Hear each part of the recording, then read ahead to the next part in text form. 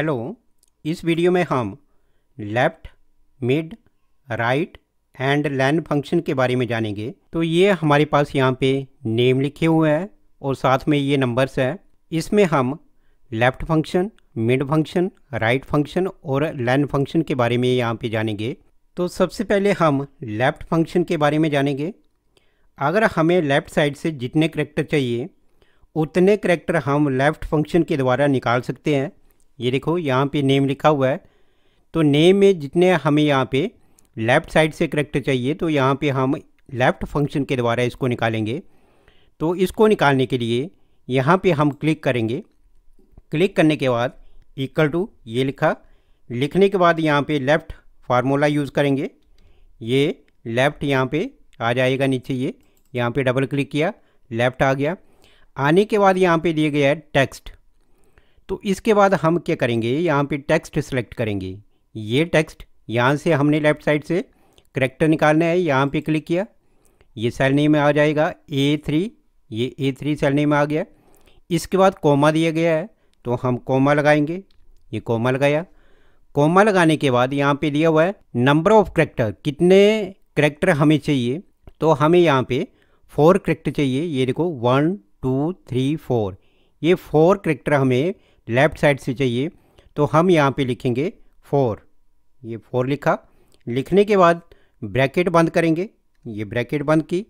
बंद करने के बाद एंटर प्रेस करेंगे। ये एंटर प्रेस किया।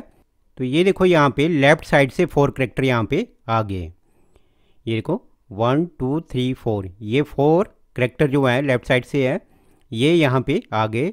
अगर हमें सभी से चाहिए तो हम क्या करेंगे? यहाँ पे क्लिक करेंगे। और ये देखो इसको नीचे ड्रैग करेंगे। ये ड्रैग किया। ड्रैग करने के बाद ये देखो, सभी के यहाँ पे फोर करेक्टर आ जाएँगे। ये अमित यहाँ पे दिया गया है। ये फोर करेक्टर है। ये फोर करेक्टर आगे। आगे जतिन है। तो यहाँ पे ये देखो J A T I N Jatin तो यहाँ पे जे ए टी आई और यहाँ पे फोर करेक्टर यहाँ तक ये काउंट किए हैं। आगे एन यहाँ पे नहीं आया हुआ है। अगर हम इसको एन को यहाँ पे ऐड करना चाहते हैं तो हम क्या करेंगे? यहाँ पे डबल क्लिक करेंगे। डबल क्लिक करने के बाद यहाँ पे फोर लिखा हुआ है, यहाँ पे हम फाइव करेंगे। ये देखो, फाइव किया। फाइव करने के बाद एंटर प्रेस करेंगे। एंटर प्रेस करने के बाद ये देखो, जतिन यहाँ पे आ जाएगा। इसके बाद अगले में ये भी फोर करेक्टर यहाँ पे आए हुए हैं। ये देखो, ये नंबर है तो ये फोर नंबर यहाँ पे आ गए हैं। इसके बाद नीचे इसके भी फोर नंबर आ गया है। ये भी नीचे इसके भी फोर नंबर आ गया है। इसके बाद है मिड फ़ंक्शन तो मिड फ़ंक्शन का यूज़ हम तब करते हैं जब हमें मिडल से करेक्टर निकालने होते हैं। तो इसको कैसे निकालेंगे? जैसे ये कुमार हमें यहाँ पे चाहिए और ये जो मिडल में है, ये चाहिए। तो इसको निकालने के लिए हम यहाँ पे क्लिक करेंगे। क्लिक करने के बाद यहाँ पे इक्वल टू लिखा। इक्वल टू लिखने के बाद यहाँ पे मिड लिखेंगे। ये मिड लिखा। यहाँ पे डबल क्लिक करेंगे। डबल क्लिक किया। डबल क्लिक करने के बाद ये आगे दिया गया है टेक्स्ट तो हम ये टेक्स्ट को सिलेक्ट करेंगे कि कहाँ से हमने यहाँ पे मिडल से यहाँ से करेक्टर को निकालना है तो इसको सिलेक्ट करेंगे। यहाँ पे क्लिक किया, ये टेक्स्ट यहाँ पे आ जाएगा। ए थ्री सेल नेम ये आ जाएगा। ये देखो ए थ्री ये सेल नेम यहाँ पे आ गया है। इसके बाद दिया गया है कॉमा तो हम यहाँ पे कॉमा लगाएँगे। कॉमा लगाने के बाद आगे दिया गया है स्टार्ट नंबर तो स्टार्ट नंबर कहाँ से हमने ये करेक्टर चाहिए? तो इसको स्टार्ट नंबर कहाँ से है? तो इसको काउंट करेंगे, ये देखो। वन टू थ्री फोर और ये जो है बीच में स्पेस इसको भी काउंट किया जाएगा। फाइव और ये सिक्स ये जो है सिक्स पोजीशन पे है करेक्टर तो यहाँ पे लिखेंगे हम सिक्स ये सिक्स लिखा। सिक्स लिखने के बाद है नंबर ऑफ़ करेक्टर कितने नंबर ऑफ़ करेक्टर चाहिए? ये देखो, यहाँ पे लिखा हुआ है नंबर ऑफ़ करेक्टर तो नंबर ऑफ़ करेक्टर हमें कितने चाहिए? One two, three, four, five. तो यहाँ पे फाइव नंबर ऑफ़ करेक्टर चाहिए। तो हम यहाँ पे लिखेंगे कॉमा लगा के, ये कॉमा लगाया और इसके बाद फाइव लिखा। फाइव लिखने के बाद ये ब्रैकेट बंद है तो यहाँ पे हम ब्रैकेट को बंद करेंगे। इसके बाद एंटर प्रेस करेंगे। एंटर प्रेस करने के बाद ये देखो, ये जो है मिडल से ये कुमार यहाँ पे आ जाएगा। तो मिड फ़ंक्शन के द्वारा हम यहाँ पे मिडल से करेक्टर को निकाल सकते हैं। इसके बाद सभी के लिए यहाँ पे अप्लाई करना है ये मिड फ़ंक्शन तो यहाँ पे क्लिक करेंगे और इसको नीचे ड्रैग करेंगे। ये ड्रैग किया। ड्रैग करने के बाद यहाँ पे ये देखो सिंग ये मिडल से ये आ गया। ये देखो, कितने करेक्टर हैं ये? Five character one two three four five इसके बाद ये देखो, यहाँ पे ये जो है, ये यहाँ पे फाइव करेक्टर आ रहे हैं। यहाँ भी फाइव करेक्टर है। और ये जो है, यहाँ पे फोर करेक्टर आ रहे हैं। के यू एम ए आर यहाँ पे नहीं आ रहा है। हमने यहाँ पे फार्मूला लिखा था सिक्स तो सिक्स से स्टार्ट है। तो सिक्स से यहाँ पे स्टार्ट किया हुआ है। तो ये देखो one two three four five और ये स्पेस सिक्स तो स्पेस यहाँ से स्पेस इसने काउंट किया हुआ है। नीचे यहाँ पे रोहित तो यहाँ भी one two three four five और यहाँ से ये स्पेस से स्टार्ट किया हुआ है। तो इसीलिए यहाँ पे के यू एम ए यहाँ पे कुमार नहीं आया के यू एम ए आया। तो इसको अगर हम ये करना चाहते हैं तो हम क्या करेंगे?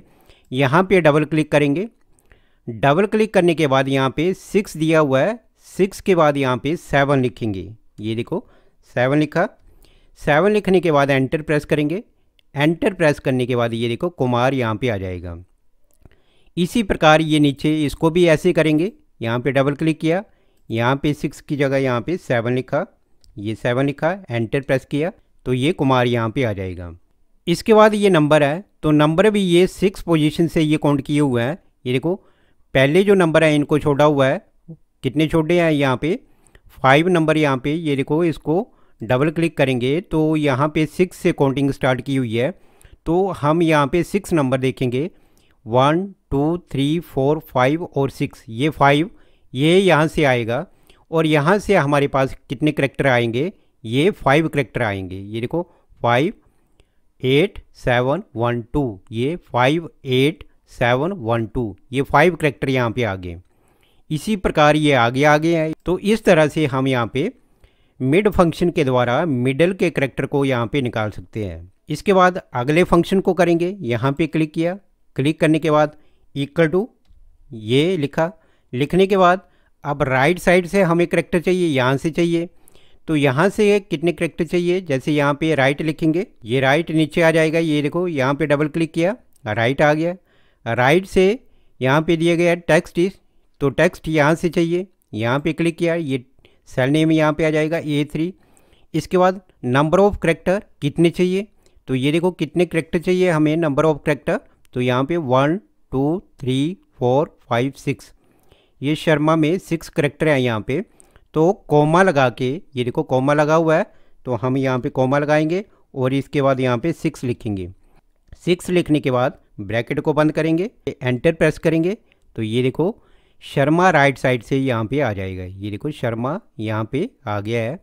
अब सभी के लिए हमने ये नीचे अप्लाई करना है तो यहाँ पे क्लिक किया और यहाँ पे डबल क्लिक किया। ये देखो सभी के लिए ये यहाँ पे अप्लाई हो गया। ये जो है यहाँ पे, ये कट हो रहा है। यहाँ से ये देखो one two three four five और यहाँ पे ये सिक्स तो ये हमें सारा चाहिए। तो ये देखो, यहाँ तक आया हुआ है ए तक।